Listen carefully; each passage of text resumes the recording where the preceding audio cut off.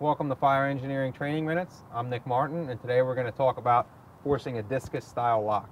This style of lock here, a discus lock or earring lock, some people uh, call it, have become a common high security locking device. Um, it's designed to be an enclosed shackle, meaning that the shackle of the lock uh, is not exposed, so our typical methods of cutting it with bolt cutters or saw or something are of limited use. Uh, there are some methods we can use with a saw to cut this off, basically cutting the top third of the lock off, but today we're going to show how a set of irons can quickly defeat this lock.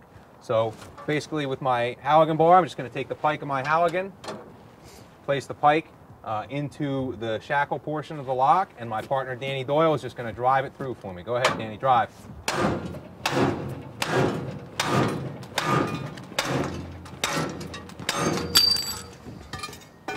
And one of a couple things will happen when this lock defeats. In this scenario, you can see that it, it, just pulled it straight apart. Other times, you'll see that where that seam broke apart, that that seam will basically break all the way around the lock and the entire lock will fall apart. So a, uh, a rather formidable lock, easily defeated with a set of irons just by understanding the design and weaknesses of the lock. Thanks to our sponsors at Globe Manufacturing, I'm Nick Martin, and thanks for watching Fire Engineering Training Minutes.